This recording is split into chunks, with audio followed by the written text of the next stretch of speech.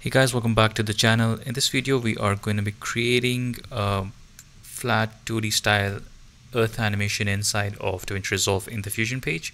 So to get started, I have this image over here of the world map that I got from vemaps.com. The first thing that we will do is add in a crop tool to this and then in the inspector we'll select the keep center option. Let's take a look at this crop node. We will increase the x size and the y size till we see the entire map. So now our new resolution is this over here. Let's also add in a dent tool and let's take a look at it. We'll set the type to dent 2 and reduce the strength to 0.2 after the dent what we are going to do is add in a background to this.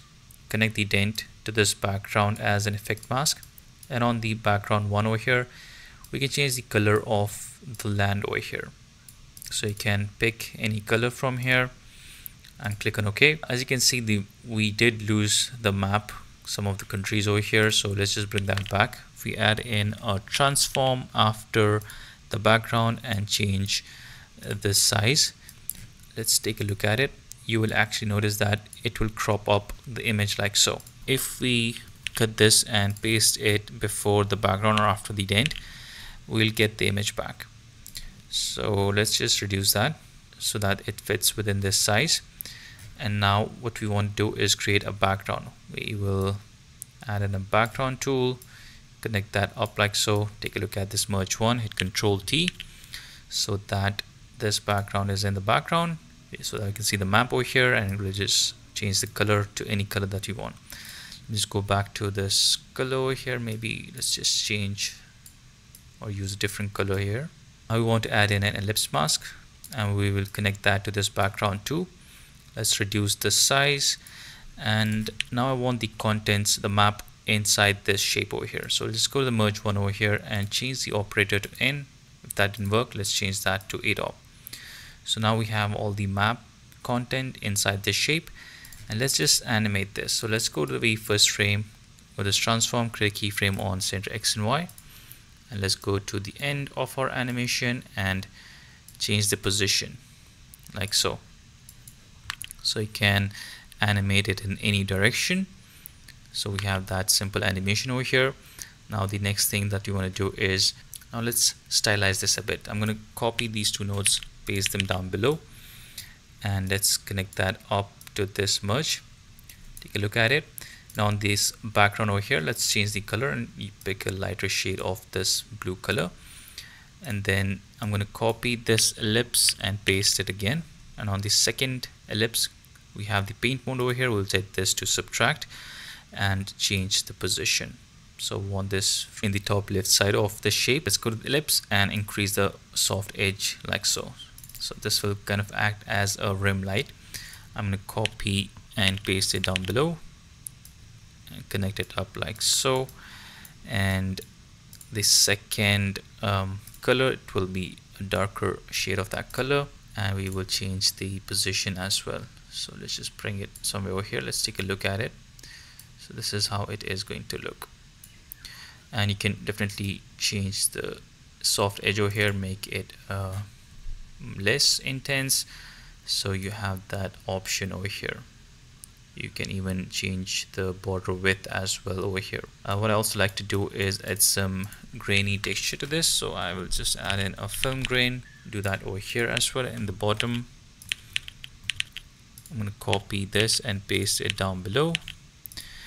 Um, and yeah that's pretty much it. I like to disable alpha multiply and you can just play around with different settings I think the default values look fine. And then in the merge over here I like to play around with different blend modes. So maybe use screen or something like that. On the second one maybe I'll just use um, dissolve or something like a darken texture. Um, I think that looks that just looks different. Now we want to create a background starry background. We'll just add in a fast noise connect that up to this merge take a look at it we'll send this fast noise in the background control T and in the fast noise we go to color and set this to gradient. First color we'll just make it blue and make it a bit dark like so.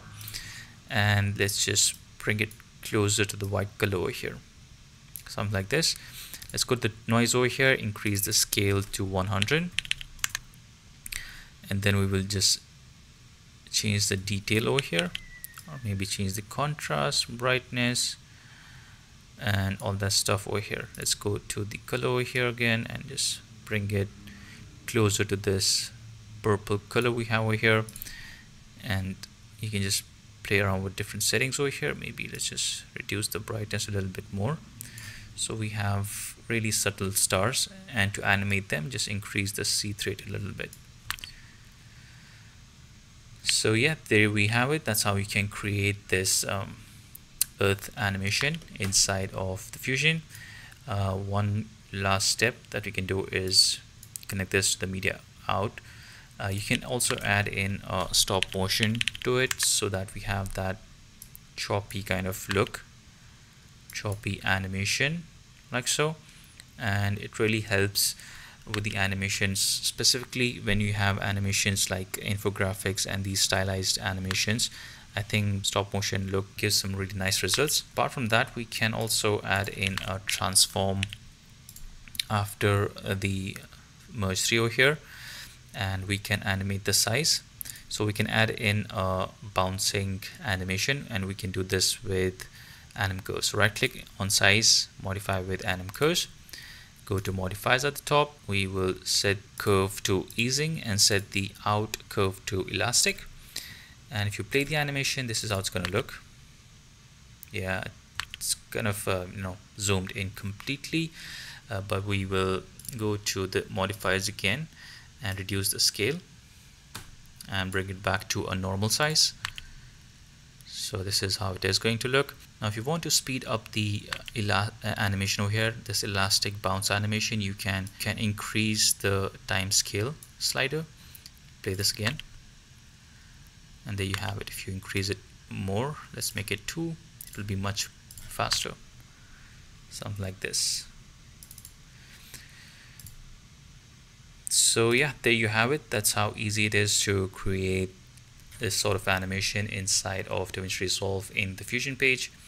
So I hope this video is helpful. I hope it will help you in your upcoming projects. Thank you so much for watching. See you guys in the next one